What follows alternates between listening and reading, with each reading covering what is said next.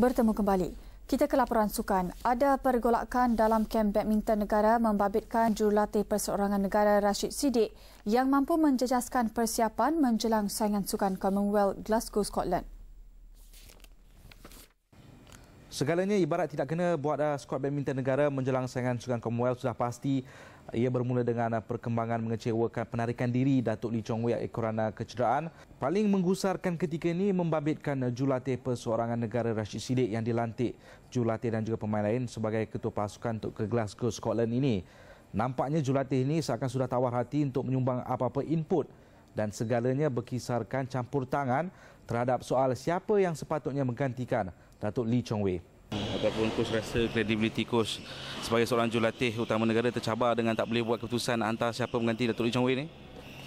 Itu tak tahulah sebab apa kita kat sini hanya bekerja je kan. Ha, kita kuli je yang yang buat keputusan mereka pihak atasan. So biar mereka yang uh, itulah uh, membuat satu jalan yang terbaik lah, satu keputusan yang terbaik lah untuk uh, tim. Mungkin uh, saya dah tak jadi team leader lagi lah untuk Sukan Commonwealth sebab memang sebelum ni kan biar uh, apa coaches semua lantik saya jadi team leader tapi saya rasa saya tugas ni terlalu berat bagi saya lah. Harus diingat ini bukan kali pertama Rashid bertindak berani menenggakkan pendiriannya kerana September tahun lalu hampir-hampir saja dia meninggalkan skuad kebangsaan selepas uh, penstrukturan uh, semula barisan kejulatian. Namun persoalan lebih besar apakah sasaran minimum dua emas untuk skuad badminton negara itu mampu dicapai memandangkan pemain sudah kehilangan inspirasi dalam bentuk Dato' Lee Chong Wei dan juga mengambil kira kualiti lawan yang akan mereka tempuh di uh, Glasgow nanti.